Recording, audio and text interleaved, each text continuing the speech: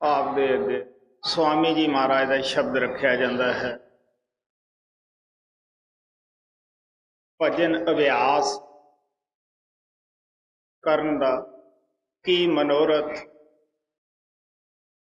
ਹੁੰਦਾ ਹੈ? ਇਹ ਕਿਉਂ ਕਰਨਾ ਹੈ? ਅਗਰ ਅਸੀਂ ਭਜਨ ਅਭਿਆਸ ਨਹੀਂ ਕਰਦੇ, ਤਾਂ ਕਿਸ ਤਰ੍ਹਾਂ ਅਸੀਂ ਮਨ ਇੰਦਰੀਆਂ ਦੇ ਗੁਲਾਮ ਹੋ ਜਾਂਦੇ ਹਾਂ? ਅਗਰ ਪ੍ਰਮਾਤਮਾ ਸਾਡੇ ਤੇ ਮਿਹਰ ਕਰਦਾ ਹੈ, ਦਇਆ ਕਰਦਾ ਹੈ, ਅਸੀਂ ਭਜਨ ਅਭਿਆਸ ਕਰਦੇ ਹਾਂ, ਤਾਂ ਸਾਨੂੰ ਆਪਣੇ ਮਨ ਦੇ ਅੰਦਰ ਇਸ ਨੂੰ ਛਪਾ ਕੇ ਰੱਖ ਲੈਣਾ ਚਾਹੀਦਾ ਹੈ। ਇਹ ਛਪਾਉਣਾ ਬੜਾ ਜ਼ਰੂਰੀ ਹੈ। ਅਗਰ ਅਸੀਂ ਛਪਾਉਂਦੇ ਨਹੀਂ, ਲੋਕਾਂ ਨੂੰ ਪਤਾ ਲੱਗਦਾ ਹੈ, ਉਹ ਸਾਨੂੰ ਮੱਥੇ ਟੇਕਦੇ ਐ ਜੈ ਜੈਕਾਰ ਕਰਦੇ ਹੈ। ਸਾਡੀ ਉਤਨੀ ਚੜ੍ਹਾਈ ਨਹੀਂ ਹੁੰਦੀਗੀ ਕਿ ਅਸੀਂ ਬਰਦਾਸ਼ਤ ਕਰ ਸਕੀਏ ਜਾਂ ਮਾਨ ਵਡਿਆਈ ਤੋਂ ਉੱਪਰ ਉੱਠ ਸਕੀਏ। ਅਸੀਂ ਹਉਮੈ ਦੇ ਸ਼ਿਕਾਰ ਹੋ ਜਾਂਦੇ ਆ ਅਸੀਂ ਸੋਚਦੇ ਆ ਕਿ ਅਸੀਂ ਹਾਂ ਕੁਛ।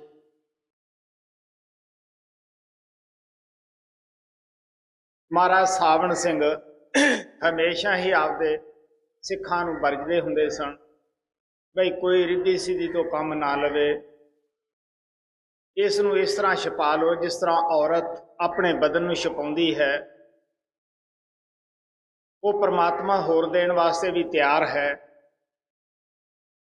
ਤੋ ਸਵਾਮੀ ਜੀ ਮਹਾਰਾਜ ਇਹ ਸ਼ਬਦ ਦੇ ਵਿੱਚ ਬੜੇ ਪਿਆਰ ਨਾਲ ਦੱਸਦੇ ਹੈ, ਭਜਨ ਕਰ, ਮਗਨ ਰਹੋ ਮਨ ਮੇ।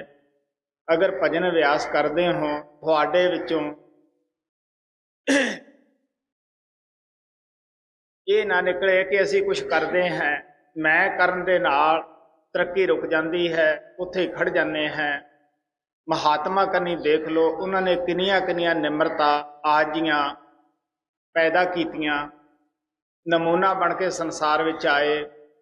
ਮੈਨੂੰ ਵੱਧ ਤੋਂ ਵੱਧ ਮਹਾਰਾਜ ਬਾਬਾ ਸਾਵਣ ਸਿੰਘ ਦੇ ਚਰਨਾਂ ਦੇ ਵਿੱਚ ਬੈਠਣ ਦਾ ਮੌਕਾ ਮਿਲਿਆ। ਉਹ ਬੜੇ ਉੱਚੇ ਭਾਗ ਸਨ। ਉਹ ਬੜਾ ਅੱਛਾ ਸਮਾਂ ਹੁੰਦਾ ਸੀਗਾ। ਸ਼ੁਰੂ ਚੋਂ ਹੀ ਮੇਰੀ ਸੰਗਤ ਸੋਬਤ ਮਹਾਰਾਜ ਸਾਵਣ ਸਿੰਘ ਦੇ ਪ੍ਰੇਮੀਆਂ ਦੇ ਨਾਲ ਹੀ ਰਹੀ ਔਰ ਆਪ ਹਮੇਸ਼ਾ ਸਤਸੰਗ ਦੇ ਵਿੱਚ ਸਮਝਾਉਂਦੇ ਹੁੰਦੇ ਸੀ ਕਿ ਜਿਹੜੇ ਭਜਨ ਦੇ ਚੋਰ ਹਨ, ਉਹ ਜਾਂ ਤਾਂ ਕਾਮ ਦੇ ਗੁਲਾਮ ਬਣ ਜਾਂਦੇ ਹੈ ਜਾਂ ਕ੍ਰੋਧ ਦੇ ਗੁਲਾਮ ਬਣ ਜਾਂਦੇ ਹੈ। ਹੋਰ ਕਈ ਕਿਸਮ ਦੀਆਂ ਬਿਮਾਰੀਆਂ ਭਰਮ ਉਹਨਾਂ ਨੂੰ ਚਿੰਬੜ ਜਾਂਦਾ ਹੈ। ਔਰ ਆਪ ਦੀ ਬੜੀ ਅਭਿਆਸੀ ਜ਼ਿੰਦਗੀ ਸੀ।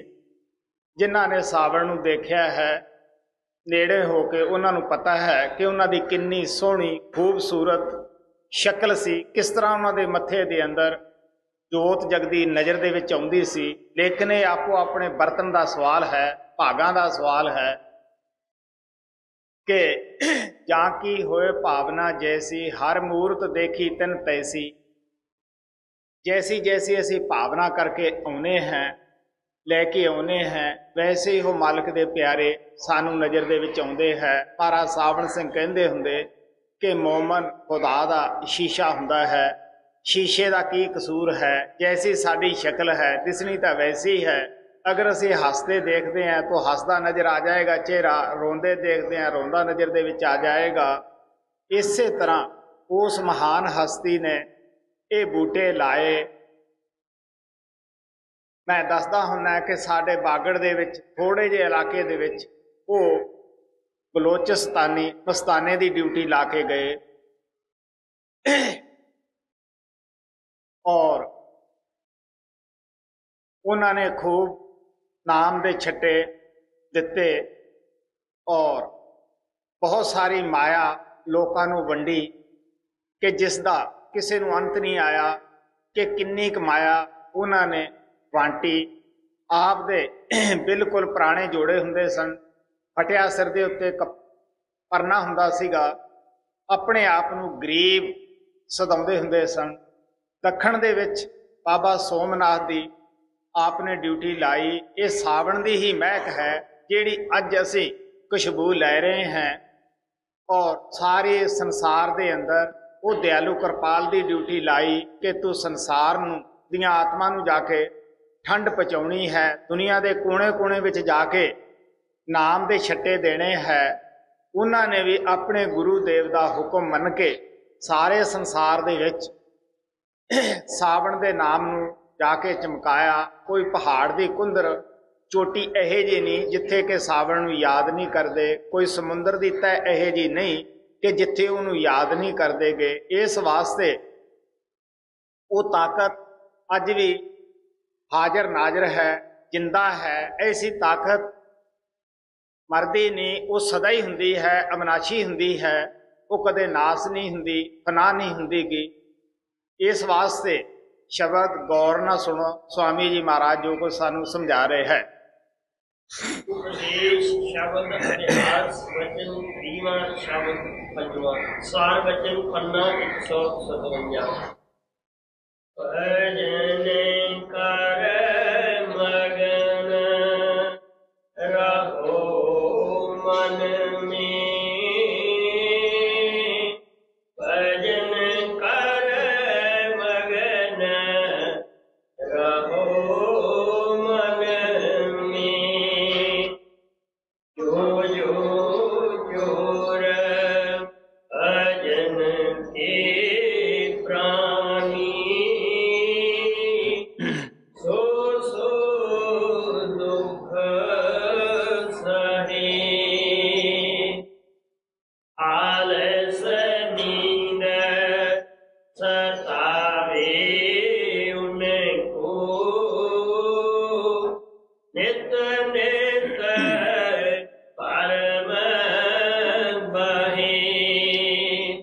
ਭਜਨ ਦੇ ਚੋਰ ਉਹਨਾਂ ਨੂੰ ਕਿਹਾ ਗਿਆ ਹੈ, ਜੋ ਰਾਤ ਭਰ ਸੌਂ ਕੇ ਗੁਜ਼ਾਰ ਦਿੰਦੇ ਹੈ।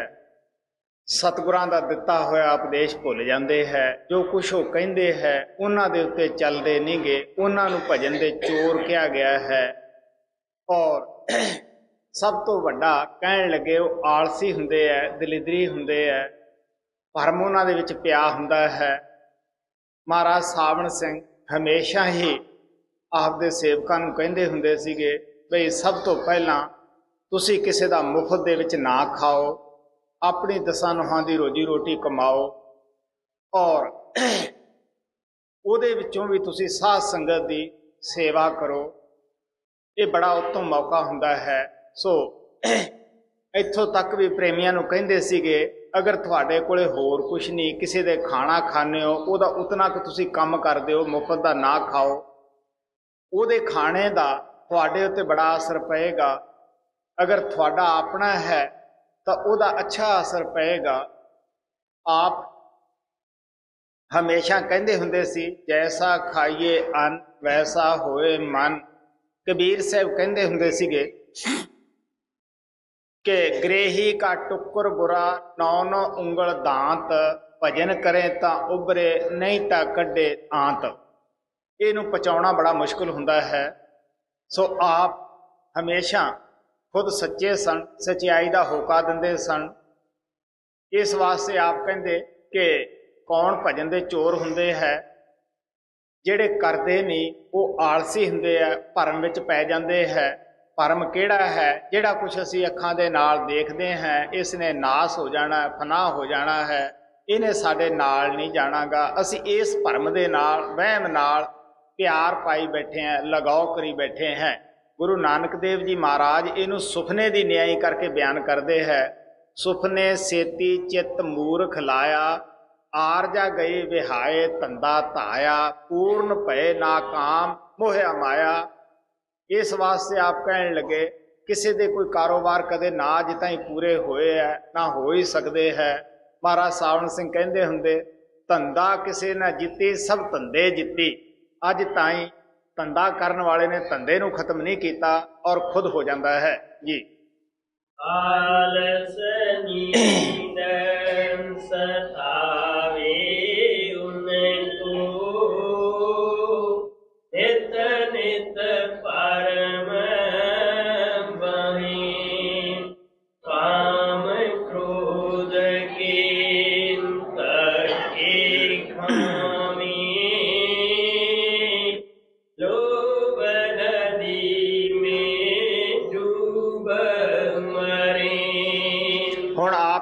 ਦੇ ਨਾਲ ਦੱਸਦੇ ਐ ਜਿਉਂ-ਜਿਉਂ ਇਹ ਵਡਿਆਈ ਪਾਉਂਦਾ ਹੈ, ਵੱਡਾ ਬਣਦਾ ਹੈ, ਆਪ ਤੋਂ ਗਰੀਬਾਂ ਅਧਨਿਆਂ ਨੂੰ ਖਾਣਾ ਸ਼ੁਰੂ ਕਰ ਦਿੰਦਾ ਹੈ ਔਰ ਜਾਂ ਤਾਂ ਧਨ ਲੋਕਾਂ ਤੋਂ ਲੈ ਕੇ ਜੋੜ ਕੇ ਰੱਖ ਜਾਂਦਾ ਹੈ ਜਾਂ ਉਸ ਦੇ ਨਾਲ ਐਸ਼ੋ ਇਸ਼ਰਤਾਂ ਕਰ ਜਾਂਦਾ ਹੈ। ਅਗਰ ਇਧਰੋਂ ਉਹ ਬਚਦਾ ਹੈ, ਤਾਂ ਕਾਮ ਦਾ ਸ਼ਿਕਾਰ ਹੁੰਦਾ ਹੈ, ਕ੍ਰੋਧ ਦਾ ਹੁੰਦਾ ਹੈ ਲੋਭ ਤਾਂ ਇੱਥੋਂ ਤੱਕ ਵੱਧ ਜਾਂਦਾ ਹੈ ਕਿ ਬੇਸ਼ੱਕ ਸਾਰੀ ਦੁਨੀਆ ਭੁੱਖੀ ਮਰ ਜਾਵੇ। ਕਹਿੰਦਾ, ਮੇਰੇ ਕੋਲੇ ਸਾਰਾ ਕੁਝ ਹੀ ਆ ਜਾਵੇ। ਇਸ ਵਾਸਤੇ ਮਹਾਤਮਾ ਪਿਆਰ ਦੇ ਨਾਲ ਦੱਸਦੇ ਆ ਕਿ ਇਹ ਬਿਮਾਰੀਆਂ ਕਿੰਨਾਂ ਨੂੰ ਲੱਗਦੀਆਂ ਹਨ? ਕਾਮ ਦੀ, ਕ੍ਰੋਧ ਦੀ, ਲੋਭ ਦੀ। ਕਹਿਣ ਲੱਗੇ, ਜਿਹੜੇ ਭਜਨ ਦੇ ਚੋਰ ਹੈ, ਭਜਨ ਨਹੀਂ ਕਰਦੇਗੇ। ਜੀ। ਕਾਮ ਕ੍ਰੋਧ ਕੇ ਤਕੇ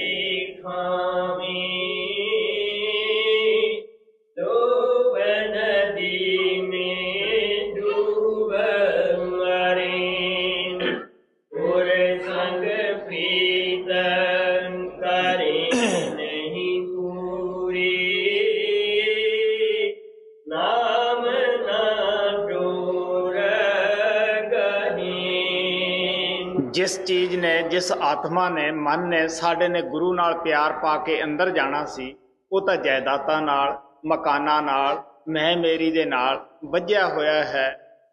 ਹੁਣ ਮਨ ਸਾਡਾ ਇੱਕ ਹੈ, ਇੱਕ ਹੀ ਅਸੀਂ ਕੰਮ ਕਰ ਸਕਦੇ ਹਾਂ।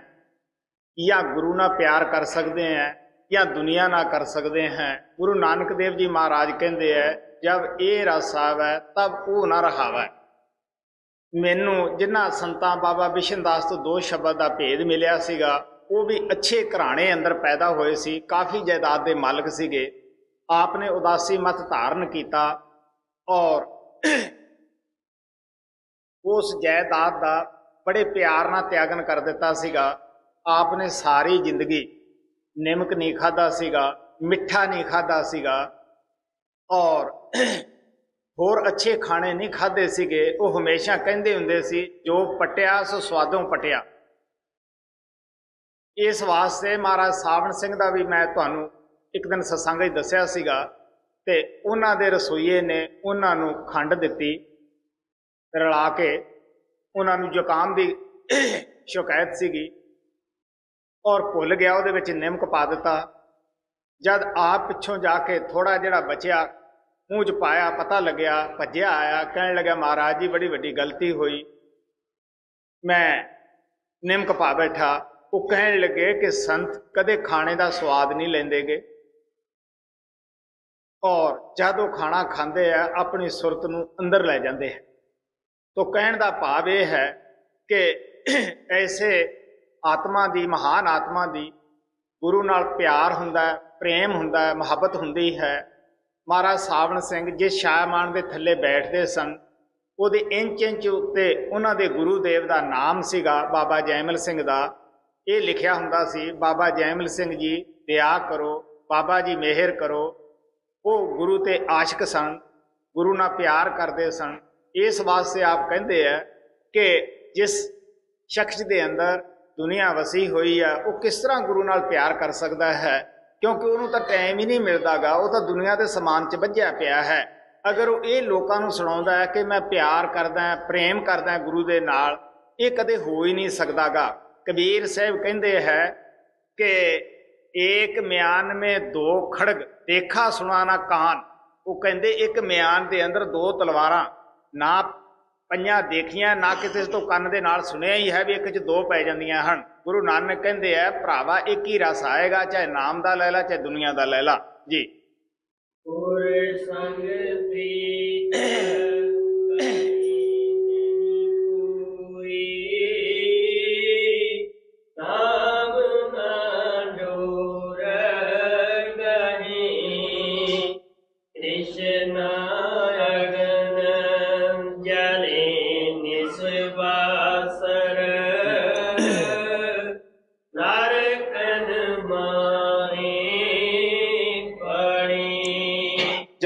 ਦੁਨੀਆਦਾਰਾਂ ਦੀਆਂ ਤ੍ਰਿਸ਼ਨਾ ਪੂਰੀਆਂ ਨਹੀਂ ਹੁੰਦੀਆਂ ਗਈਆਂ। ਫਿਰ ਅਸੀਂ ਉਹਨਾਂ ਨੂੰ ਪੂਰੀਆਂ ਕਰਨ ਵਾਸਤੇ ਕੋਈ ਨਾ ਕੋਈ ਠੱਗੀ, ਬੇਈਮਾਨੀ, ਅਤਿਆਚਾਰ ਕਰਦੇ ਹਾਂ। ਔਰ ਉਹ ਕਾਲ ਧਰਮਰਾਜ ਜਿਹੜਾ ਕਿ ਨਿਆਂ ਕਰਨ ਵਾਸਤੇ ਬੈਠਾ ਹੈ, ਉਹ ਸਾਨੂੰ ਨਰਕਾਂ ਦੇ ਵਿੱਚ ਭੇਜ ਦਿੰਦਾ ਹੈ। ਮਤਾ ਕੋਈ ਇਹ ਦਿਲ ਦੇ ਵਿੱਚ ਖਿਆਲ ਕਰੇ ਕਿ ਜੋ ਕੁਝ ਅਸੀਂ ਕਰੀ ਜਾਂਦੇ ਹਾਂ, ਇਹ ਕਿਸੇ ਨੂੰ ਪਤਾ ਨਹੀਂਗਾ ਇਹਦਾ ਕਿਹਨੇ ਹਿਸਾਬ ਲੈਣਾ ਹੈ? ਗੁਰੂ ਨਾਨਕ ਦੇਵ ਜੀ ਮਹਾਰਾਜ ਕਹਿੰਦੇ ਹੈ, ਨਾਨਕ ਜੀ ਉਪਾਏ ਕੇ ਲਿਖ ਨਾਵੈ ਧਰਮ ਬਹਾਲਿਆ। ਉੱਥੇ ਸੱਚੋ ਹੀ ਸੱਚ ਨਿਬੜੇ ਚੁਣ ਵਖ ਕੱਢੇ ਜੋ ਮਾਲਿਆ। ਥਾਏ ਨ ਪਾਏ ਨ ਕੂੜਿਆਰ ਮੂੰਹ ਕਾਲਾ ਦੋਜਕ ਚਾਲਿਆ। ਆਪ ਕਹਿਣ ਲੱਗੇ, ਤੁਸੀਂ ਦਿਮਾਗ ਚੋਂ ਹੀ ਕੱਢ ਦਿਓ। ਜਿਸ ਪਰਮਾਤਮਾ ਨੇ ਪੈਦਾ ਕੀਤਾ ਹੈ ਉਸ ਨੇ ਇੱਕ ਆਪਣਾ ਮੁਨਸਬ ਬਾਣੀਆਂ ਧਰਮਰਾਜ ਨੂੰ ਬਿਠਾਇਆ ਹੋਇਆ ਹੈ, ਹਰ ਇੱਕ ਦਾ ਲੇਖਾ ਪਤਾ ਕਰਨ ਵਾਸਤੇ। ਕਬੀਰ ਸਾਹਿਬ ਕਹਿੰਦੇ ਹੈ ਕਿ ਇਹ ਪਾਪ ਰੱਖੇ ਤਲੇ ਦਰਾਏ ਪ੍ਰਗਟ ਭਏ ਨਾਦਾਨ ਜਾਂ ਪੁੱਛੇ ਧਰਮਰਾਏ ਜੀ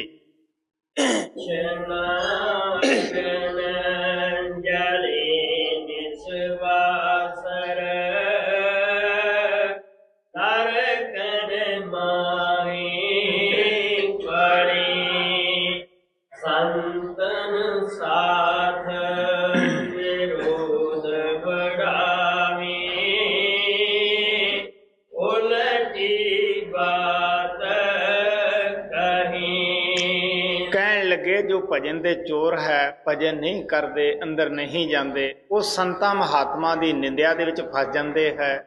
ਜੋ ਸੰਤਾਂ ਮਹਾਤਮਾ ਦੇ ਐ ਨੇੜੇ ਨਹੀਂ ਹੁੰਦਾ, ਨੁਕਸ ਉਹਨਾਂ ਦੇ ਅੰਦਰ ਹੁੰਦਾ ਨਹੀਂਗਾ, ਅਸੀਂ ਲੋਕ ਉਹ ਵੀ ਉਹਨਾਂ ਦੇ ਵਿੱਚ ਬਿਆਨ ਕਰ ਦਿੰਨੇ ਹੈ, ਕਹਿਣ ਲੱਗੇ ਹਵਾ ਦੀ ਤਰ੍ਹਾਂ ਅੰਦਰੋਂ ਕੱਢੀ ਜਾਂਦੇ ਹੈ। ਪਤਾ ਨਹੀਂ ਇਸ ਦਾ ਕੀ ਨਤੀਜਾ ਹੋਣਾ ਹੈ, ਕਿਸ ਤਰ੍ਹਾਂ ਸਾਨੂੰ ਇਹਦਾ ਹਸਰ ਚੁਕਾਉਣਾ ਪੈਣਾ ਹੈ।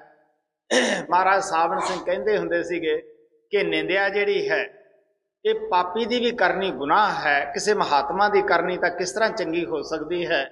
ਗੁਰੂ ਨਾਨਕ ਦੇਵ ਜੀ ਮਹਾਰਾਜ ਕਹਿੰਦੇ ਹੈ, ਨਿੰਦਿਆ ਭਲੀ ਕਿਸੇ ਕੀ ਨਾਹੀ, ਮਨਮੁਖ ਮੁਗਧ ਕਰਨ, ਮੂੰਹ ਕਾਲੇ ਤਿਨ ਨਿੰਦਕਾਂ, ਨਰਕੇ ਘੋਰ ਪਵਨ। ਫੇਰ ਆਪ ਦੱਸਦੇ ਆ ਕਿ ਅੱਜ ਕੱਲ ਤਾਂ ਹਰ ਇੱਕ ਇਨਸਾਨ ਇਹ ਬਹੁਤ ਵੱਡਾ ਸਾਰਾ ਤੋਪਖਾਨਾ ਲਈ ਫਿਰਦਾ ਹੈ। ਇੱਕ ਦੂਸਰੇ ਦੀ ਨਿੰਦਿਆ ਕਰਨ ਤੇ ਸਾਰੇ ਸਮਾਜ ਅਸੀਂ ਲੱਗੇ ਹੋਏ ਹਾਂ। ਲੇਕਿਨ ਆਪਣੇ ਐ ਕਦੇ ਨਹੀਂ ਅਸੀਂ ਦੇਖਦੇ। ਸਵਾਮੀ ਜੀ ਮਹਾਰਾਜ ਕਹਿੰਦੇ ਹੈ, ਦੋਖ ਪਰਾਇਆ ਦੇਖਦੇ, ਚਲਦੇ ਹਸਤ ਹਸਤ, ਆਪਣਾ ਕਬੂ ਨਾ ਦੇਖਿਆ ਜਿਸ ਕਾ ਆਦ ਅੰਤ। ਲੋਕਾਂ ਕਨੀ ਦੇਖ ਕੇ ਤਾਂ ਅਸੀਂ ਹੱਸਦੇ ਹਾਂ। ਕਹਿੰਨੇ ਇਹਦੇ 'ਚ ਇਹ ਨੁਕਸ ਹੈ, ਕਦੇ ਆਪਣਾ ਨੁਕਸ ਨਹੀਂ ਦੇਖਿਆਗਾ। ਇਸ ਵਾਸਤੇ ਆਪ ਪਿਆਰ ਦੇ ਨਾਲ ਦੱਸਦੇ ਆ ਕਿ ਐਸੇ ਲੋਕ ਆਪਣਾ ਜੀਵ- ਜੀਵਨ ਸਵਾਰਨ ਦੀ ਬਜਾਏ ਨਿੰਦਿਆ ਕਰਕੇ ਹੋਰ ਬੋਝਾ ਸਿਰ ਦੇ ਉੱਤੇ ਉਠਾ ਲੈਂਦੇ ਹੈ। ਜੀ। ਸੰਤਨ ਸਾਥ ਵਿਰੋਧ ਬੜਾਵੀ ਉਲਟੀ ਬਾਤ ਕਹੀ ਸਤ ਸੰਗ ਮਹਿਮਾ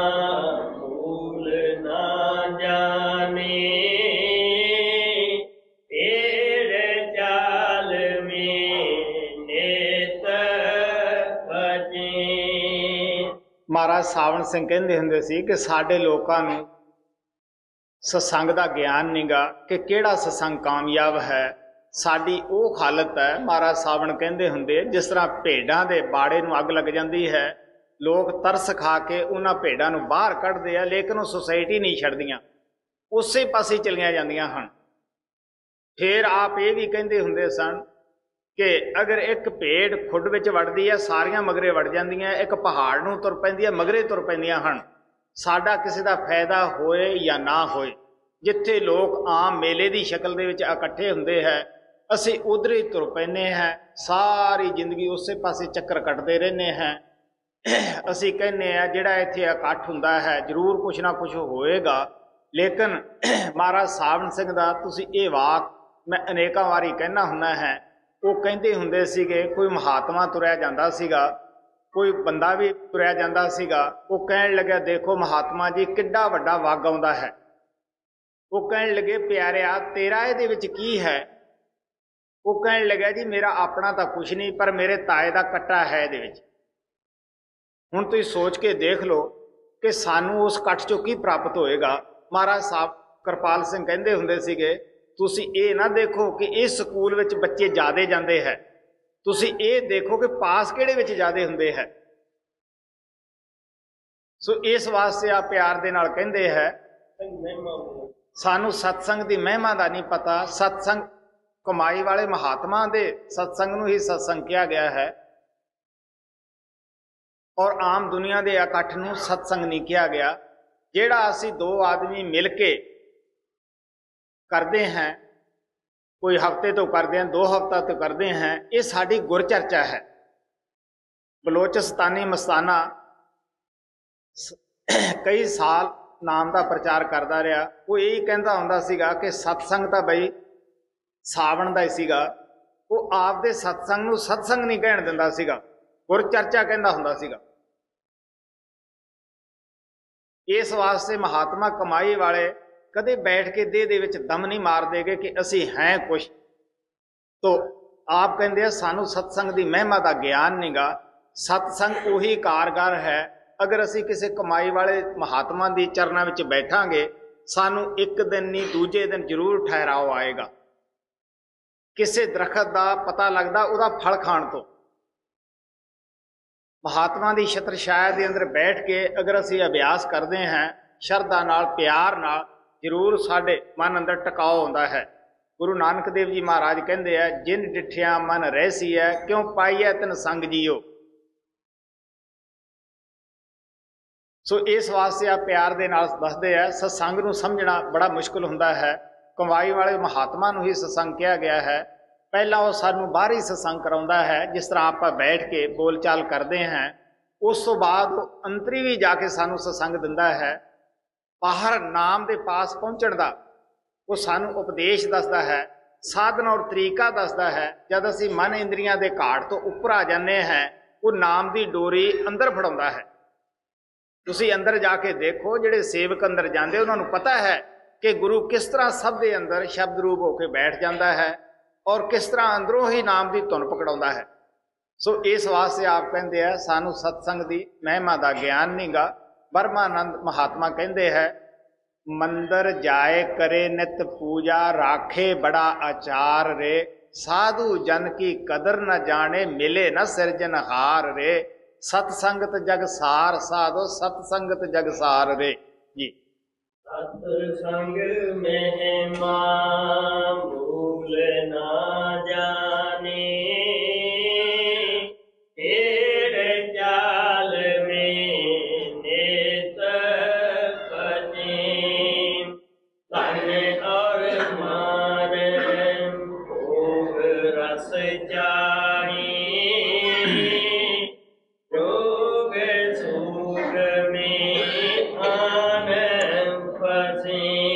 ਅਸੀਂ ਲੋਕ ਮਾਨ ਵਡਿਆਈ ਤੇ ਭੁੱਖੇ ਹੁੰਨੇ ਆ, ਧਨ ਪਦਾਰਥਾਂ ਦੇ ਭੁੱਖੇ ਹੁੰਨੇ ਹਾਂ ਜਿੱਥੇ ਸਾਨੂੰ ਇਹ ਚੀਜ਼ਾਂ ਮਿਲਦੀਆਂ ਹਨ, ਉੱਥੇ ਬਗੈਰ ਬੁਲਾਇਆ ਹੀ ਅਸੀਂ ਜਾ ਕੇ ਚਲੇ ਜਾਂਦੇ ਹਾਂ ਜਾਣੇ ਹਾਂ। ਕਮਾਈ ਵਾਲੇ ਮਹਾਤਮਾ ਦੀ ਸੰਗਤ ਔਰ ਸੋਭਤ ਦੇ ਅੰਦਰ ਤੁਹਾਨੂੰ ਪਤਾ ਹੀ ਹੈ, ਗਰੀਬ ਦਾ ਵੀ ਉਹਨਾਂ ਆਦਰ ਹੈ ਜਿੰਨਾ ਇੱਕ ਅਮੀਰ ਦਾ ਹੈ, ਜਿੰਨਾ ਇੱਕ ਔਰਤ ਦਾ ਆਦਰ ਹੈ ਉਨਾ ਹੀ ਇੱਕ ਮਰਦ ਦਾ ਹੁੰਦਾ ਹੈ।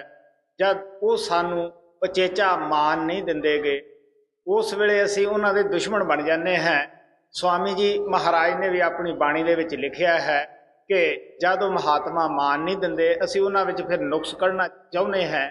ਲੇਕਿਨ ਇਹ ਕਿਉਂ ਕਰਦੇ ਹਾਂ? ਸਿਰਫ ਆਪਣੇ ਮਨ ਨੂੰ ਖੁਰਾਕ ਦੇਣ ਵਾਸਤੇ ਔਰ ਹੰਕਾਰੀ ਇਹ ਮਿੱਥ ਕੇ ਚੱਲਦਾ ਹੈ ਕਿ ਜੋ ਕੁਝ ਮੈਂ ਕਹਿ ਰਿਹਾ ਹਾਂ, ਉਹ ਠੀਕ ਹੈ। ਸੋ ਇਸ ਵਾਸਤੇ ਸਵਾਮੀ ਜੀ ਮਹਾਰਾਜ ਕਹਿੰਦੇ ਆ ਕਿ ਐਸੇ ਲੋਕਾਂ ਨੇ ਮਹਾਤਮਾ ਦੇ ਸਤਸੰਗ ਨੂੰ ਕੀ ਸਮਝਣਾ ਸੀਗਾ? ਮਹਾਤਮਾ ਦੀ ਸੰਗਤ ਔਰ ਸੋਭਤ ਦੇ ਵਿੱਚ ਤਾਂ ਤੁਹਾਨੂੰ ਪਤਾ ਹੀ ਹੈ ਕਿ ਕਿਸ ਤਰ੍ਹਾਂ ਜਦ ਸ਼ਾਹ ਬਲਖ ਬਖਾਰੇ ਦੇ ਦਿਲ ਅੰਦਰ ਸ਼ੌਕ ਪੈਦਾ ਹੋਇਆ, ਬਿਰੇ ਤੜਪ ਪੈਦਾ ਹੋਈ ਕਿ ਪ੍ਰਮਾਤਮਾ ਨੂੰ ਕਿਸ ਤਰ੍ਹਾਂ ਮਿਲਿਆ ਜਾਏ, ਉਹ ਕੋਨੇ-ਕੋਨੇ 'ਚ ਦੁਨੀਆ ਦੇ ਤਲਾਸ਼ ਕਰਦਾ ਫਿਰਿਆ। ਜਦ ਹਿੰਦੁਸਤਾਨ 'ਚ ਆਇਆ, ਕਿਸੇ ਨੇ ਕਬੀਰ ਸਾਹਿਬ ਦੀ ਦੱਸ ਪਾਈ ਕਿ ਪੂਰਾ ਮਹਾਤਮਾ ਕਬੀਰ ਸਾਹਿਬ ਹੀ ਹੈ। ਕਬੀਰ ਸਾਹਿਬ ਦੇ ਪਾਸ ਆਏ। ਬੇਨਤੀ ਕੀਤੀ ਕਿ ਮੈਨੂੰ ਨਾਮ ਦਿਓ। ਮੈਨੂੰ ਜੋ ਸੇਵਾ ਦੱਸੋ, ਮੈਂ ਉਹ ਕਰੂੰਗਾ। ਕਬੀਰ ਸਾਹਿਬ ਨੇ ਜਦ ਪੁੱਛਿਆ ਕਿ ਤੂੰ ਕੌਣ ਹੈ, ਕਹਿਣ ਲੱਗਾ ਮੈਂ ਸ਼ਾਹ ਬਲਕ ਬਖਾਰਾ ਹਾਂ। ਕਬੀਰ ਸਾਹਿਬ ਕਹਿਣ ਲੱਗੇ, ਦੇਖ ਵੀ ਸਜਣਾ, ਮੈਂ ਤਾਂ ਇੱਕ ਗਬੀਰ- ਗਰੀਬ ਜਲਾਹਾ ਹਾਂ। ਤੂੰ ਸ਼ਾਹ ਬਲਕ ਬਖਾਰਾ ਹੈ, ਤੇਰੀ ਮੇਰੀ ਕਿਵੇਂ ਗੁਜ਼ਰ ਹੋਏਗੀ? ਮੈਂ ਤੈਨੂੰ ਕਿਸ ਤਰ੍ਹਾਂ ਸਹੂਲਤਾਂ ਦੇ ਸਕਦਾ ਹਾਂ? ਉਹ ਕਹਿਣ ਲੱਗਾ ਮੈਂ ਸ਼ਾਹ ਬਲਕ ਬਖਾਰਾ ਬਣ ਕੇ ਨਹੀਂ ਆਇਆਗਾ। ਮੈਂ ਇੱਕ ਗਰੀਬ ਭਿਖਾਰੀ ਬਣ ਕੇ ਤੇਰੇ ਦਰ ਤੇ ਆਇਆ ਹਾਂ। ਤੋ ਕਬੀਰ ਸਾਹਿਬ ਉਸ ਨੂੰ ਜੋ ਘਰ ਦੇ ਵਿੱਚ ਕੰਮ ਕਰਦੇ ਹੁੰਦੇ ਸਨ, ਤਾਣੇ ਵਗੈਰਾ ਦਾ ਉਹ ਦੱਸ ਦਿੱਤਾ, ਉਹ ਰੋਜ਼ ਕੰਮ ਕਰਿਆ ਕਰੇ। ਇੱਕ ਦਿਨ ਮਾਤਾ ਲੋਈ ਨੇ ਕਬੀਰ ਸਾਹਿਬ ਨੂੰ ਕਿਹਾ ਕਿ ਇਹ ਰਾਜਾ ਹੋ ਕੇ ਤੁਹਾਡੀ ਸੇਵਾ ਕਰਦਾ ਹੈ, ਮੈਂ ਜੋ ਹੁਕਮ ਕਹਿੰਨੀ ਹੈ ਵਜਾ ਲਿਆਉਂਦਾ ਹੈ, ਇਹਨੂੰ ਕੁਝ ਤੁਸੀਂ ਦਿਓ। ਉਹ ਕਹਿਣ ਲੱਗੇ ਕਿ ਅਜੇ ਬਰਤਨ ਤਿਆਰ ਨਹੀਂਗਾ ਉਹ ਕਹਿਣ ਲੱਗੀ, ਮੈਂ ਜੋ ਕਹਿਣਾ ਹੈ ਕਹਿਨੀ ਹੈ, ਉਹ ਇਹ ਕਰਦਾ ਹੈ। ਉਹ ਕਹਿਣ ਲੱਗਾ, ਤੂੰ ਐਸੇ ਕਰ ਤੂੰ ਛਿਲਕੇ ਛੁਰਕੇ ਲੈ ਕੇ ਉੱਪਰ ਖੜ, ਮੈਂ ਇਹਨੂੰ ਸੱਦੂਗਾ। ਫੇਰ ਦੇਖੀਏ ਕੀ ਬੋਲਦਾ ਹੈ। ਉਹਨੇ ਛਿਲਕੇ ਉੱਪਰ ਸਿੱਟ ਦਿੱਤੇ ਔਰ ਕਾਫੀ ਹੰਕਾਰ ਭਰੇ ਲਫ਼ਜ਼ ਬੋਲੇ ਕਿ ਅਗਰ ਸ਼ਾਹ, ਅਗਰ ਬਲਕ ਬਖਾਰਾ ਹੁੰਦਾ, ਤੈਨੂੰ ਮੈਂ ਫੇਰ ਪਤਾ ਦੱਸਦਾ ਕਿ ਛਿਲਕੇ ਕਿਸ ਤਰ੍ਹਾਂ ਇੱਕ ਰਾਜੇ ਦੇ ਉੱਤੇ ਸਿੱਟੀ ਦੇ ਹੁੰਦੇ ਹੈ। ਮਾਤਾ ਲੋਈ ਬੜੀ ਖਮੋਸ਼ ਹੋਈ ਕਿ ਇਹ ਤਾਂ ਬੜਾ ਹੰਕਾਰ ਦੇ ਵਿੱਚ ਬੋਲ ਰਿਹਾ ਹੈ। ਅਜੇ ਵੀ ਬਲਖ ਬਖਾਰੇ ਨੂੰ ਯਾਦ ਕਰਦਾ ਹੈ। ਲੋਈ ਨੂੰ ਕਬੀਰ ਸਾਹਿਬ ਕਹਿਣ ਲੱਗੇ, ਮੈਂ ਜੇ ਤੈਨੂੰ ਕਿਹਾ ਸੀ, ਅਜੇ ਬਰਤਨ ਤਿਆਰ ਨਹੀਂ। 6 ਸਾਲ ਫੇਰ ਲੰਘ ਗਏ। ਹੁਣ ਲੋਈ ਤਾਂ ਅੱਗੇ ਵਰਗੀ ਹਾਲਤ ਸਮਝਦੀ ਸੀ। ਕਬੀਰ ਸਾਹਿਬ ਜਿਨ੍ਹਾਂ ਦੀਆਂ ਅੱਖਾਂ ਖੁੱਲੀਆਂ ਸੀ, ਉਹ ਕਹਿਣ ਲੱਗੇ ਕਿ ਹੁਣ ਤਿਆਰ ਹੈ ਬਰਤਨ ਠੀਕ ਹੈ। ਉਹ ਕਹਿਣ ਲੱਗੀ, ਮੈਂ ਤਾਂ ਕੋਈ ਅੰਤਰ ਨਹੀਂ ਕੱਢ ਸਕਦੀ। ਉਹ ਕਹਿਣ ਲੱਗੇ, ਪਹਿਲਾਂ ਤੂੰ ਛਿਲਕੇ ਲੈ ਕੇ ਉੱਪਰ ਖੜੀ ਸੈਂ। ਛਿਲਕੇ ਸਿੱਟੇ ਸੀ। ਇਸ ਦਫਾ ਤੂੰ ਗੰਦ ਵਗੈਰਾ ਲੈ ਕੇ ਉੱਪਰ ਖੜ ਉਹ ਸਿੱਟੀ ਇਹਦੇ ਤੇ ਕਬੀਰ ਸਾਹਿਬ ਕਹਿਣ ਲੱਗੇ ਕਿ ਉਹ ਅੰਦਰੋਂ ਕੋਟ ਲਿਆ ਲਾ ਕੇ, ਉਹ ਅੰਦਰ ਵੜਿਆ, ਲੋਈ ਉੱਪਰ ਖੜੀ ਸੀ, ਉਸਨੇ ਗੰਦ ਵਗੈਰਾ ਉੱਤੇ ਸਿੱਟ ਦਿੱਤਾ, ਉੱਪਰ ਝਾਕਿਆ, ਕਹਿਣ ਲੱਗਾ ਦੇਖ ਬਈ, ਮੈਂ ਤਾਂ ਇਦੋਂ ਵੀ ਗੰਦਾ ਹਾਂ, ਬਹੁਤ ਬੁਰਾ ਹਾਂ, ਤੇਰਾ ਭਲਾ ਹੋਵੇ। ਮੈਨੂੰ ਦੱਸ ਦਿੱਤਾ ਕਿ ਤੇਥੋਂ ਗੰਦ ਵੀ ਚੰਗਾ ਹੈ। ਔਰ ਬੜਾ ਪ੍ਰੇਮ ਪਿਆਰ ਨਾਲ ਪੇਸ਼ ਆਇਆ। ਤਾਂ ਕਬੀਰ ਸਾਹਿਬ ਨੇ ਉਹਨਾਂ ਨੂੰ ਨਾਮ ਦਿੱਤਾ। ਤੁਹਾਨੂੰ ਪਤਾ ਹੈ ਜਿਸ ਨੇ 12 ਸਾਲ ਸੇਵਾ ਕਰਕੇ ਨਾਮ ਲਿਆ ਹੋਵੇ, ਪਿਆਸੇ ਆਦਮੀ ਨੂੰ ਪਾਣੀ ਮਿਲੇ, ਉਹ ਕਿੰਨੀ ਇੱਜ਼ਤ ਨਾਲ ਪੀਂਦਾ ਹੈ। ਕਿੰਨਾ ਉਹ ਸਤਿਕਾਰ ਕਰਦਾ ਹੈ। 12 ਸਾਲ ਸੇਵਾ ਕਰਕੇ ਜਦ ਨਾਮਦਾਨ ਪ੍ਰਾਪਤ ਕਰਨ ਲੱਗੇ, ਹੁਣ ਕਬੀਰ ਵਰਗਾ ਗੁਰੂ ਕਿੱਥੇ ਮਿਲਦੇ, ਮਿਲੇ? ਔਰ ਸ਼ਾਹ ਬਲਖ ਬੁਖਾਰੇ ਵਰਗਾ ਸ਼ਿਸ਼ ਮਿਲਣਾ ਵੀ ਔਖਾ ਸੀਗਾ। ਬਸ ਦੱਸਦੇ ਗਏ ਤੇ ਸੁਰਤ ਅੰਦਰ ਚਲੀ ਗਈ। ਹੁਣ ਕੌਣ ਬੁਲਾਵੇ? ਕਬੀਰ ਸਾਹਿਬ ਲੋਈ ਨੂੰ ਕਹਿਣ ਲੱਗੇ, ਬੁਲਾਗਾ ਹੁਣ ਇਸ ਨੂੰ। ਤੋ ਕਹਿਣ ਦਾ ਭਾਵ ਇਤਨਾ ਹੀ ਹੈ ਕਿ ਉਹ ਧਨ ਮਾਨ ਵਡਿਆਈ ਨੂੰ ਛੱਡ ਕੇ ਜਦ ਕਬੀਰ ਦਾ ਆਖੇ ਨੌਕਰ ਲੱਗਿਆ, ਤਾਂ ਕਬੀਰ ਸਾਹਿਬ ਨੇ ਉਸ ਨੂੰ ਨਾਮ ਦੇ ਕੇ ਮਾਲੋ ਮਾਲ ਕਰ ਦਿੱਤਾ। ਜੀ। ਧਨ ਔਰ ਮਾਨੇ ਭੋਗ ਰਸ ਚਾਹੀ।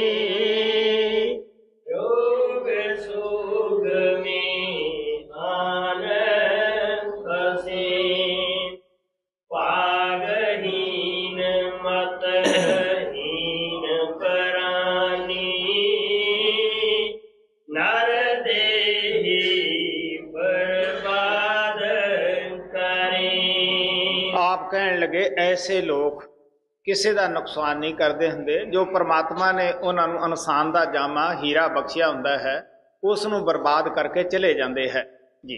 ਪਾਗਹੀਨ ਮਤ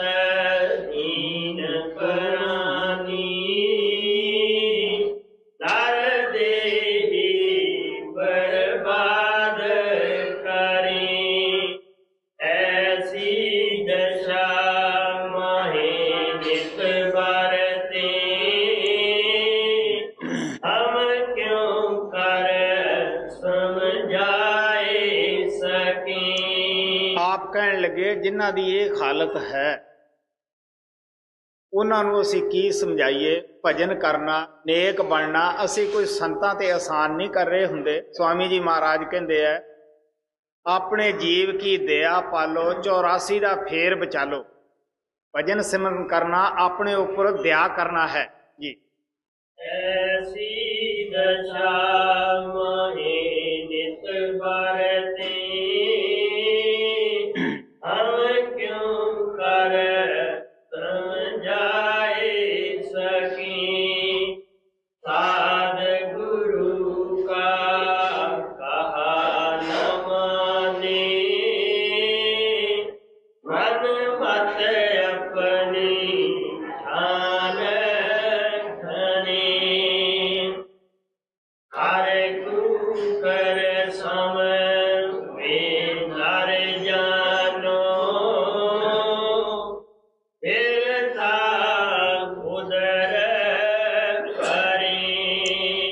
ਤਾਂ ਮਹਾਤਮਾ ਨੇ ਸਤਸੰਗ ਦੇ ਜਰੀਏ ਬੜੇ ਹੋਕੇ ਦਿੱਤੇ, ਕਿਹਾ, ਬਚੋ, ਰੁੜੇ ਜਾਣੇ ਹੋ।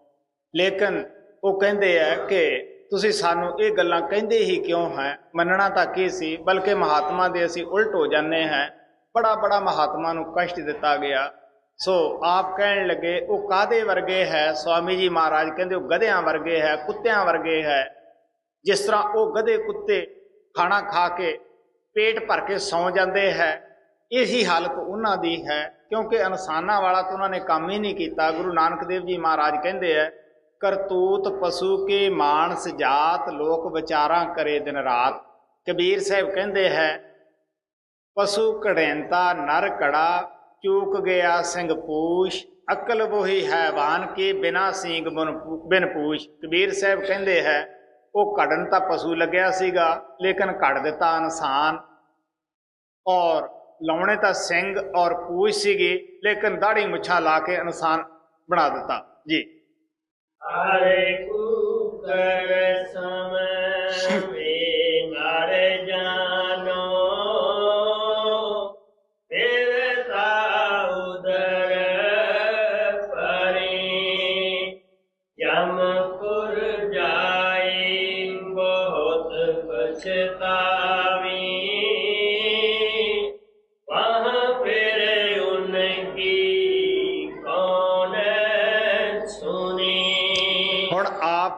ਅਗਰ ਕੋਈ ਕਤਲ ਕਰਕੇ ਸੈਸ਼ਨ ਦੇ ਅੱਗੇ ਇਹ ਕਹੇ ਕਿ ਅੱਜ ਮੈਨੂੰ ਮਾਫ ਕਰੋ, ਮੈਂ ਫੇਰ ਨਹੀਂ ਕਰਦਾਗਾ, ਉਹ ਇਹ ਜਵਾਬ ਦਿੰਦਾ ਹੈ ਕਿ ਦੇਖ ਵੀ ਪਿਆਰਿਆ, ਇਹਨੂੰ ਭੋਗ ਲੈ, ਫੇਰ ਨਾ ਕਰੀ, ਤੈਨੂੰ ਕੋਈ ਅਦਾਲਤ 'ਚ ਨਹੀਂ ਲਿਆਏਗਾ। ਹੁਣ ਇਹ ਧਰਮ ਰਾਜ ਦੇ ਦੂਤਾਂ ਦਾ ਪਕੜਿਆ ਹੋਇਆ ਪਛਤਾਉਂਦਾ ਹੈ। ਉੱਥੇ ਹੁਣ ਇਹਦੀ ਕੌਣ ਸੁਣੇ? ਗੁਰੂ ਨਾਨਕ ਦੇਵ ਜੀ ਮਹਾਰਾਜ ਕਹਿੰਦੇ ਹੈ, ਕੱਪੜ ਰੂਪ ਸੁਹਾਮਣਾ, ਛੱਡ ਦੁਨੀਆ ਅੰਦਰ ਜਾਮਣਾ ਮੰਦਾ ਚੰਗਾ ਆਪਣਾ ਆਪੇ ਹੀ ਕੀਤਾ ਪਾਵਣਾ। ਹੁਕਮ ਕੀਏ ਮਨ ਭਾਵਦੇ, ਰਾਹ ਭੀੜਾ ਅੱਗੇ ਜਾਵਣਾ। ਨੰਗਾ ਦੋਜਕ ਚੱਲਿਆ ਤਾਂ ਦਿਸੇ ਖੜਾ ਡਰਾਮਣਾ ਕਰ ਔਗਣ ਪਛੋ ਤਾਮਣਾ ਹੁਣ ਉੱਥੇ ਪਛਤਾਉਂਦਾ ਹੈ, ਕੌਣ ਉੱਥੇ ਸਿੱਖੋ ਫਰਿਆਦ ਸੁਣਦਾ ਹੈ? ਜੀ।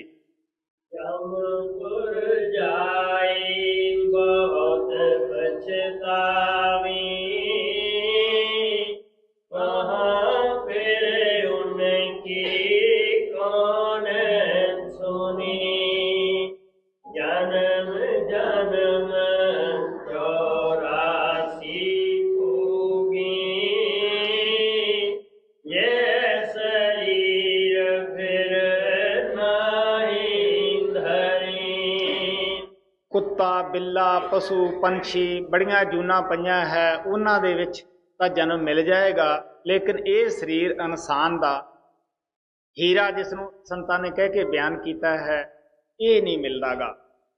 ਇਹ ਤਾਂ ਪ੍ਰਮਾਤਮਾ ਨੇ ਸਾਨੂੰ ਮੌਕਾ ਦਿੱਤਾ ਹੈ, ਆਪਣੀ ਭਗਤੀ ਦਾ, ਆਪਣੇ ਮਿਲਾਪ ਦਾ, ਜਿਹੜਾ ਕਿ ਹੋਰ ਜੂਨਾਂ ਨੂੰ ਨਹੀਂ ਦਿੱਤਾਗਾ। ਜੀ। ਜਨਮ ਜਨਮ ਚੌਰਾਸੀ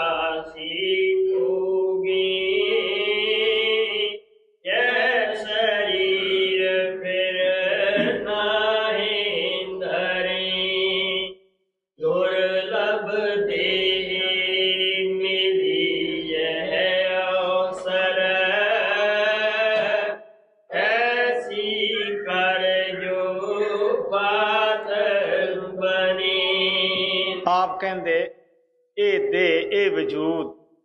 ਕੀਮਤੀ ਹੀਰਾ ਬੜਾ ਦੁਰਲਭ ਮੌਕਾ ਮਿਲਿਆ ਹੈ। ਔਰ ਇਹਦੇ ਵਿੱਚ ਉਹ ਭਗਤੀ ਕਰ, ਉਹ ਪ੍ਰਮਾਤਮਾ ਨਾਲ ਪਿਆਰ ਕਰ ਕਿ ਜਿਹਦੇ ਨਾਲ ਤੂੰ ਪ੍ਰਮਾਤਮਾ ਦੇ ਨਾਲ ਜਨਮਾਂ ਜਨਮਾਤਰਾਂ ਦੀ ਵਿਗੜੀ ਬਣ ਜਾਵੇ, ਇਨਸਾਨ ਦੇ ਜਾਮੇ ਵਿੱਚ ਆਉਣਾ ਤੇਰਾ ਲੇਖੇ ਵਿੱਚ ਲੱਗ ਜਾਵੇ। ਜੀ। ਦੁਰਲਭ ਦੇ ਅਵਸਰ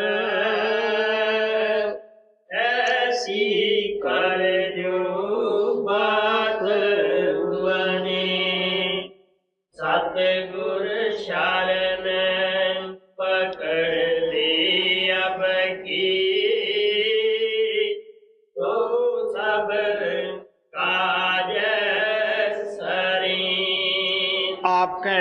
ਜ਼ਿੰਦਗੀ ਸਫਲ ਕਰਨੀ ਹੈ, ਪਰਮਾਤਮਾ ਨੂੰ ਮਿਲਣਾ ਚਾਹੁੰਦਾ ਹੈ, ਇਨਸਾਨੀ ਜਾਮਾ ਅੱਛੇ ਲੇਖੇ ਵਿੱਚ ਲਾਉਣਾ ਹੈ, ਤਾਂ ਸਭ ਤੋਂ ਪਹਿਲਾਂ ਮਹਾਤਮਾ ਦੀ ਸ਼ਰਨ ਵਿੱਚ ਜਾ। ਜੋ ਸੰਤ ਮਹਾਤਮਾ ਤੈਨੂੰ ਸ਼ਬਦ ਨਾਮ ਦਾ ਭੇਦ ਦੇ ਕੇ ਕਮਾਈ ਕਰਨ ਨੂੰ ਕਹਿੰਦੇ ਆ, ਸਭ ਤੋਂ ਪਹਿਲਾਂ ਇਹ ਕੰਮ ਕਰ। ਔਰ ਜਨਮਾਂ ਜਨਮਾਤਰਾਂ ਦੀ ਵਿਗੜੀ ਬਣ ਜਾਏਗੀ। ਤੁਲਸੀ ਸਾਹਿਬ ਕਹਿੰਦੇ ਆ, ਤੁਲਸੀ ਵਿਗੜੀ ਜਨਮ ਅਨੇਕ ਕੀ, ਇੱਕ ਘੜੀ ਦੇ ਵਿੱਚ ਬਣ ਜਾਂਦੀ ਹੈ। ਜਦੋਂ ਅਸੀਂ ਉਸ ਪ੍ਰਮਾਤਮਾ ਦੇ ਅੱਗੇ ਜਾ ਕੇ ਭੁੱਲ ਬਖਸ਼ਾਉਂਦੇ ਆ, ਉਹ ਬਖਸ਼ਣ ਵਾਸਤੇ ਤਿਆਰ ਹੈ। ਮਹਾਰਾਜ ਸਾਵਣ ਕਹਿੰਦੇ ਹੁੰਦੇ ਸੀਗੇ ਕਿ ਜੋ ਇਨਸਾਨ ਗਲਤੀ ਕਰਕੇ ਨਹੀਂ ਮੰਨਦਾ, ਉਹ ਇੱਕ ਗਲਤੀ ਹੋਰ ਕਰ ਰਿਹਾ ਹੁੰਦਾ ਹੈ। ਸੋ ਇਸ ਵਾਸਤੇ ਆ ਪਿਆਰ ਦੇ ਨਾਲ ਕਹਿੰਦੇ ਹੈ ਕਿ ਸਭ ਤੋਂ ਪਹਿਲਾਂ ਗੁਰੂ ਦੀ ਸ਼ਰਨ ਦੇ ਵਿੱਚ ਜਾਣਾ ਹੈ। ਗੁਰੂ ਅਰਜਨ ਦੇਵ ਜੀ ਮਹਾਰਾਜ ਕਹਿੰਦੇ ਹੈ ਪੜ ਪੁਸਤਕ ਸੰਧਿਆ ਬਾਦੰ, ਸਿਲ ਪੂਜਸ ਬਗਲ ਸਮਾਦੰ ਤੋਏ ਧੋਤੀ ਵਸਤਰ ਕਪਾਟੰ ਜੇ ਜਾਣਸ ਬਰਮੰ ਕਰਮੰ, ਸਭ ਫੋਕਟ ਨਿਹਚੋ ਕਰਮੰ।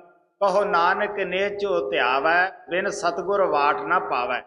ਬਗੈਰ ਗੁਰੂ ਤੋਂ ਅਸੀਂ ਆਪਣਾ ਜੀਵਨ ਬਣਾ ਹੀ ਨਹੀਂ ਸਕਦੇ, ਪ੍ਰਮਾਤਮਾ ਨੂੰ ਮਿਲ ਹੀ ਨਹੀਂ ਸਕਦੇਗੇ। ਜੀ। ਸਤਿਗੁਰ ਸ਼ਰਨ ਪਕੜ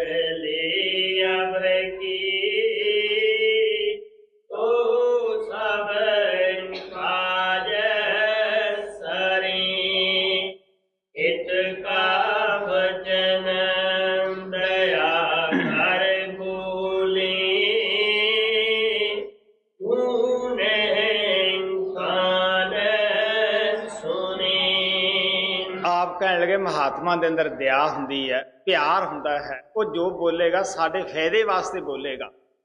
ਜਿਸ ਤਰ੍ਹਾਂ ਪਪੀਹਾ ਸਵਾਂਤੀ ਬੂੰਦ ਵਾਸਤੇ ਮੂੰਹ ਖੋਲਦਾ ਹੈ, ਸੰਤ ਵੀ ਆਪਣਾ ਮੂੰਹ ਜਦ ਖੋਲਦੇ ਹੈ, ਸਾਹ ਲੈਂਦੇ ਹੈ, ਉਹ ਸਾਡੇ ਤੇ ਦਇਆ ਹੀ ਸੋਚਦੇ ਹੈ, ਸਾਡੇ ਉੱਤੇ ਪਰਉਪਕਾਰ ਹੀ ਸੋਚਦੇ ਹੈ। ਜੀ। ਇਤ ਕਾ ਬਚਨ ਦਇਆ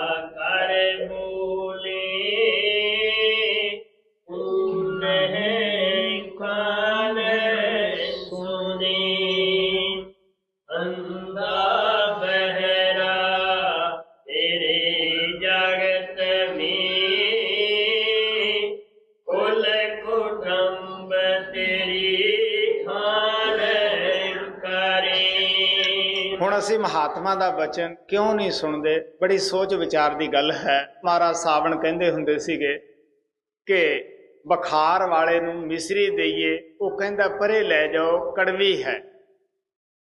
ਮਿਸਰੀ ਤਾਂ ਕੜਵੀ ਨਹੀਂ ਹੁੰਦੀਗੀ, ਮੂੰਹ ਦਾ ਜੈਕਾ ਕੜਵਾ ਹੋਇਆ ਹੁੰਦਾ, ਖਰਾਬ ਹੋਇਆ ਹੁੰਦਾ, ਮਿਸਰੀ ਕੜਵੀ ਲੱਗਦੀ ਹੈ। ਇਹੀ ਹਾਲਤ ਸਾਡੀ ਹੈ। ਮਹਾਤਮਾ ਦਾ ਜੋ ਬਚਨ ਹੁੰਦਾ ਹੈ, ਸਾਨੂੰ ਮਨ ਇੰਦਰੀਆਂ ਦੀ ਯਹਿਰ ਚੜੀ ਹੋਈ ਹੈ ਸਾਡੇ ਵੀ ਮੂੰਹ ਦਾ ਜੈਕਾ ਖਰਾਬ ਹੋਇਆ ਹੁੰਦਾ ਹੈ, ਅਸੀਂ ਉਹਨਾਂ ਦਾ ਬਚਨ ਮੰਨ ਨਹੀਂ ਰਹੇ ਹੁੰਦੇਗੇ। ਕੜਵਾ ਲੱਗਦਾ ਹੈ।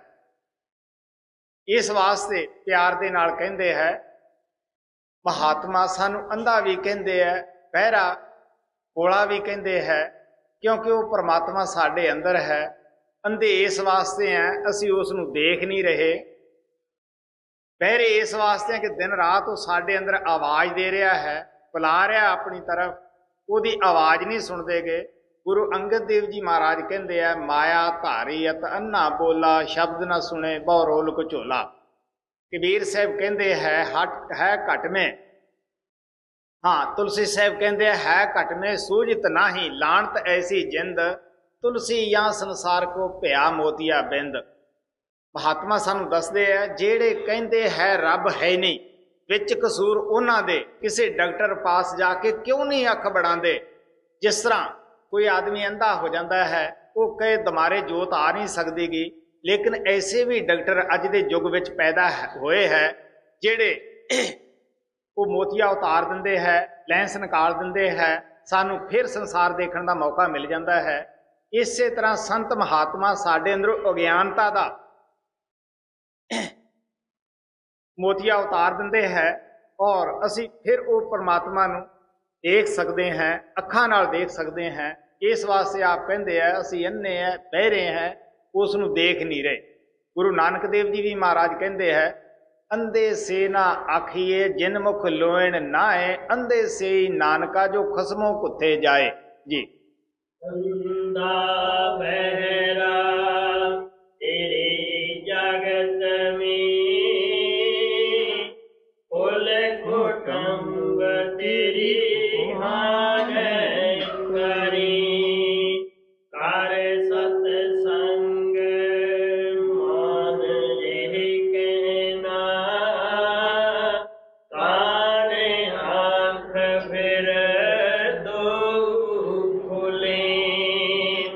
ਪਹਿਲਾਂ ਦੱਸਿਆ ਸੀ, ਕਿਸੇ ਦਰਖਤ ਦਾ ਪੱਤਾ ਉਹਦਾ ਫਲ ਖਾਣ ਤੋਂ ਲੱਗਦਾ ਹੈ, ਮਹਾਤਮਾ ਦੀ ਸੰਗਤ ਔਰ ਸੋਭਤ ਤੋਂ ਪਤਾ ਲੱਗਦਾ ਹੈ। ਕਹਿਣ ਲੱਗੇ, ਸ਼ਰਧਾ, ਪਿਆਰ ਨਾਲ ਕਮਾਈ ਵਾਲੇ ਮਹਾਤਮਾ ਦੀ ਸੰਗਤ ਔਰ ਸੋਭਤ ਦੇ ਵਿੱਚ ਜਾਏਗਾ, ਤੇਰੇ ਅੰਦਰਲੇ ਕੰਨ ਖੁੱਲ ਜਾਣਗੇ, ਅੰਦਰਲੀ ਅੱਖ ਖੁੱਲ ਜਾਏਗੀ। ਜਦ ਅੰਦਰਲੀ ਅੱਖ ਖੁੱਲਦੀ ਹੈ, ਅਸੀਂ ਅੰਦਰਲੇ ਪ੍ਰਕਾਸ਼ ਨੂੰ ਦੇਖਦੇ ਹਾਂ, ਅੰਦਰਲਾ ਕੰਨ ਖੁੱਲ ਜਾਂਦੇ ਹੈ, ਅਸੀਂ ਅੰਦਰਲੀ ਆਵਾਜ਼ ਨੂੰ ਸੁਣਨ ਲੱਗ ਜਾਂਦੇ ਹਾਂ। ਜੀ। ਪਰ ਸਤ ਸੰਗ